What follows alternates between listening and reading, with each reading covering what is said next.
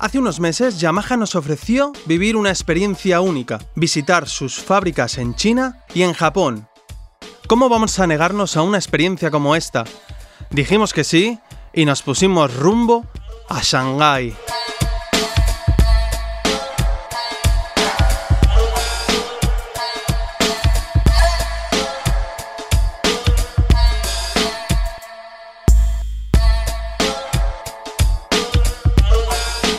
Bueno amigos, os vamos a hacer un breve resumen, ¿vale? Cada día de nuestro viaje por aquí, por, eh, por Shanghái y por eh, Japón. Eh, voy a ser lo más breve posible, llevamos casi 30 horas sin dormir, ¿vale? Entonces, pues bueno, os voy a contar un poquitito cada día lo que va pasando en este viaje. Daros cuenta de que se va a dividir en dos partes y primero vamos a ir a la parte de Shanghái, donde estamos ahora, y luego vamos a ir a la parte de Japón. En la parte de Shanghái, ¿qué es lo que hemos hecho hoy? Pues bueno, hemos llegado a las 8.50 de la mañana aquí a Shanghái y nos hemos subido a un autobús, a una guagua, ¿vale? Que nos ha llevado directamente al centro de Shanghái, donde ahí nos hemos ido a este rascacielos.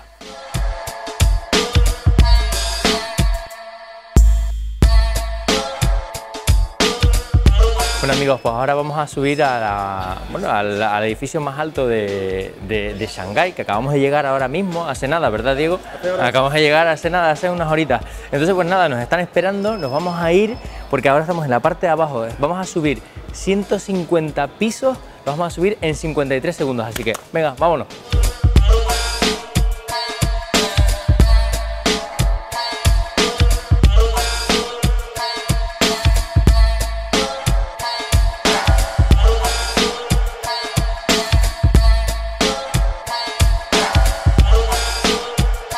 Bueno, pues ya estamos aquí.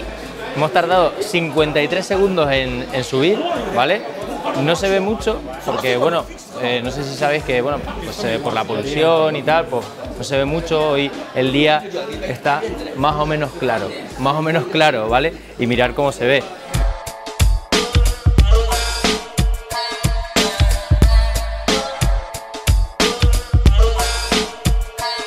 ¿Habéis visto la foto que estaba abajo? ¿Vale? La que se veía de noche y tal, pues bueno, pues la vista es impresionante desde aquí. Imaginaros una foto de esas, pues desde aquí, desde donde nosotros estamos por la noche. Normalmente suelen hacer también eh, pues, eh, visitas por el río, ¿vale? Por la noche, donde te puedes, bueno, sea, con efectos de, de cámara y tal, pues la verdad es que se pueden sacar unas fotos increíbles. Una vez que ya hemos terminado de esta maravillosa experiencia, lo que hemos hecho es que nos hemos ido a comer a un restaurante típico chino donde ahí nos daban unas cosas que se llaman dim sum. Son unas cositas así, unos saquitos que por dentro lo que tienen es eh, como, eh, bueno, tenían carne, carne picada y luego también habían otros que tenían cangrejo, ¿vale? Entre otras cosas como ensalada, arroz, etc.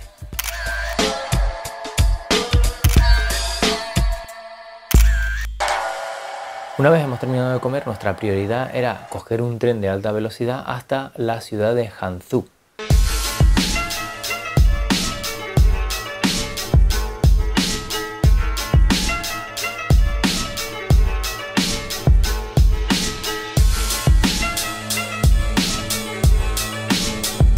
Cuando hemos llegado a Hanzhou, ¿qué es lo que hemos hecho? Pues nada, hemos tenido nada más que una hora y media para darnos una ducha, que nos hacía muchísima falta, creedme que nos hacía muchísima falta, y prepararnos para ir a cenar.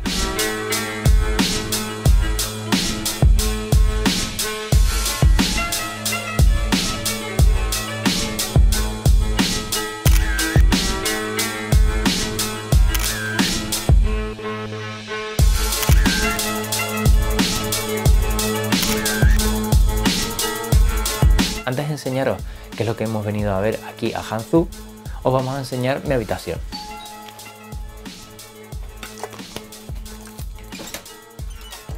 Eh, pero bueno, ¿qué haces aquí? Pasa, pasa, pasa, pasa, pasa, pasa, pasa. Bueno, pues esta es un poquito la... No, un poquito no, esta es la habitación. Aquí estamos, pues nada, ordenando ya las cosas y bueno, tenemos eh, las vistas. Bueno. No se ven. No se ven por aquí, por aquí, por aquí. A ver. No te preocupes. ¿Qué no se puede. Es que no sé cómo se abre. no sé cómo se abre. No sé cómo se abre. Luego tenemos pues, la tele aquí. Está genial. La cámara. Que la cámara es. Pues eso. Pues yo es que.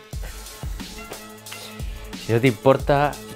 Si no te importa. Sí, sí, sí, sí, sí. Sí, sí, sí, sí, sí, sí, sí. Sí, sí, sí, porque. ¿Sabes por qué? Porque lo quiero hacer. ¿sabes? Y no solamente lo voy a hacer en esta cama, lo voy a hacer en todas las camas. Entonces, esto haces así, subís aquí, haces así.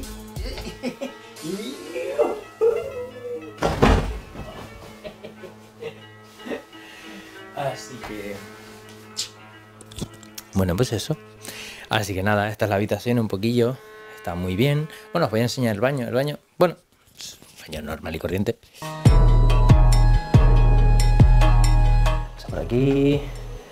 Bueno, este es el baño que la verdad es que lo tuve que utilizar en el momento en el que llegamos, porque fue una hora y media para podernos pegar una duchita y tal, y ya salir a, a cenar. Así que, pues bueno.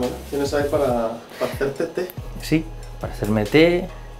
eh, la verdad que, bueno, agüita que nos tenían. eh, bueno, todo lo, ne- necesario. cosas raras de la habitación. Cosas raras en la habitación. Pues mira, lo primero es. eh, pf, yo qué sé. Pues eh, esto, esto es lo primero que yo pensé. Digo, joder, ¿para qué quiero una impresora? ¿Saben? ¿Para qué cojones van a poner una impresora aquí? Pues no, no, no, no es una impresora. Esto es para limpiar las tazas. ¿Ves? Tienes aquí, entonces, pues bueno, para hacerte tu té o tu café y tal. Pero yo pensaba que era una impresora. Y digo, bueno, pues nada. Luego una cosa, una cosa importante, porque claro, hablando con Diego, le digo, bueno, o no te lo dije, digo, ¿y, y si nos ponemos unos kimonos y tal? pues no, no vienen kimonos, pero en otras habitaciones sí, que es cosa que me mosquea. Y entonces, pues bueno, hay algo parecido, ¿vale? Pero que no son kimonos, evidentemente, ¿vale? Otra cosa más. Llegas, llegas, entras y dices, pues me voy a poner unas cholitas. Voy a poner unas cholitas. Unas cholitas de estas de felpa. Tienes las cholitas. Tienes después eh, para limpiar tus zapatos, ¿vale? Eh, no sé. Y son cosas, cosas raras a lo mejor. Y nada, y esto es lo que tiene la habitación. Mira amigos, ¿qué es lo que nos ha llamado la atención de, aquí, de, de China, nada más llegar? Pues eh, ha sido el tráfico. Tráfico que había aquí que era descomunal. Te puedes encontrar de repente muchísimas, muchísimas motos que van unas enfrente de las otras, eh, la guagua que se cruza por aquí, el coche por allá, o sea, impresionante. La gente, la verdad es que al ser occidentales, pues nos miran un poquillo raro, ¿no? Te sientes ahí como que dices, hop, te están ahí observando y tal, ¿no? Te sientes un poquito raro. Todo el tema militar que hay por aquí y tal, también te hace, pues bueno, pues sentir un poquito, un poquito raro, ¿no? Estás acostumbrado. Y luego también, pues eh, lo, lo diferente que es, evidentemente, la comida china que nosotros conocemos eh, en Occidente a la comida china real. La verdad que es un cambio increíble, eh, no solamente ya en, el sabor, sino en las texturas de la comida.